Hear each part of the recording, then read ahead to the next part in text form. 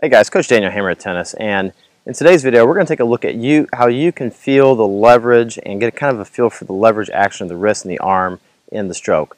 And so we've had a lot of good questions and comments around the hammer behind Hammer It Tennis in that video. And if you haven't checked out the how to hammer the ball, make sure to click on the card up here in the corner, and that's going to show you how you can hammer the ball.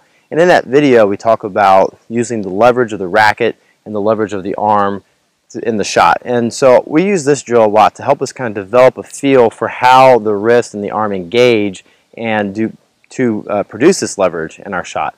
And so first thing that we're going to do is we're going to get into our hammer stance and we're going to get lined up with the net strap so that the net strap is directly in the center of our spine. So it's going to be in line with your belly button and your feet are going to be at a 45 degree angle. And you want to have it so that when you turn, line yourself up so that your racket meets the net strap and it's right in the center of the racket. And so then what you're going to do is you're going to take the ball and you're going to put it on the right leg up against the net strap and the, um, the net cord there and you're going to trap the ball and you're going to pin the ball there with your racket. So you're in your stance, my elbow is down and kind of pointing to the inside and I'm pressing this ball against the net.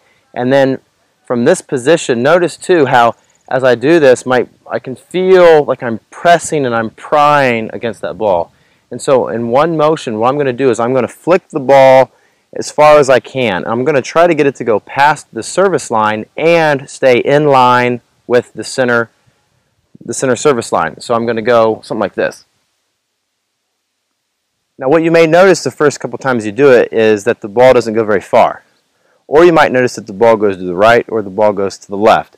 And so as you're doing this drill, again, it's important to feel, and you're going to feel this leverage, you're going to feel it engage right here in this kind of trigger area, this forefinger of your hand. And so we'll talk more about grips later, but your pinky and your pointer finger there, they and with your thumb, these are kind of the three spots that lock in your racket.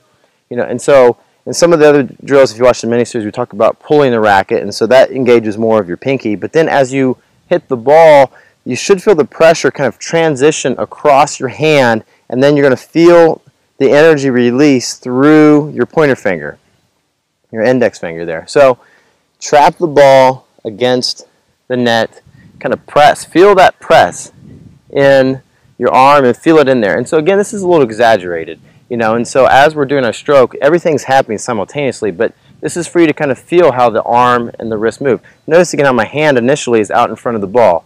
And then I'm going to launch the ball forward. And so by doing this, you're going to feel how the racket pries the ball. If the ball goes to the right too much, then you need to continue to turn your shoulders more to the left. If the ball goes too far to the left, then you need to make sure that you're extending out to the right more. And so try it a couple times and see if you can get the ball to go straight down the service line and past the service line.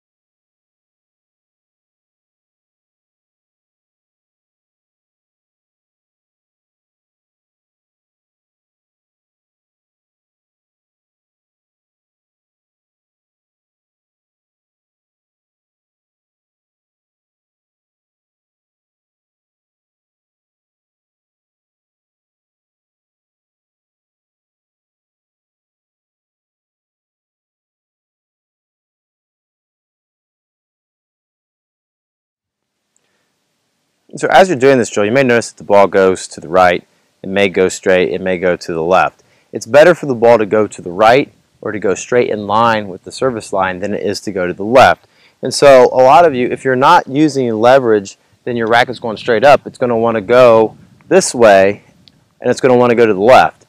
So if the ball is going to the left of the service line, you know that you're not engaging the racket into the shot properly. And so notice as I do this, as I'm applying the leverage, the racket flattens out relative to the court and it kind of pivots over the ball.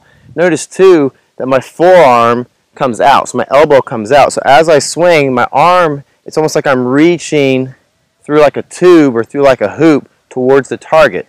So my arm comes in and then it goes out as I hit. And so I'm releasing that angular momentum into the shot and I'm releasing that energy into the shot. And so by doing that, it also helps keep my racket on target. And so the racket has to go out like this. And you notice that's where that leverage is coming in. And as my forearm is kicking out, it's creating a fulcrum point, which is also making my forearm act like a lever. And so as I'm swinging through the shot and through the contact point, my arm is working toward the target. And so, again, this is a good drill. Get your arm locked in here. Press the ball against the net and learn how you can pry the ball toward the target. So now as I'm practicing my shot, when I line up here, I'm going to line up with the tee there.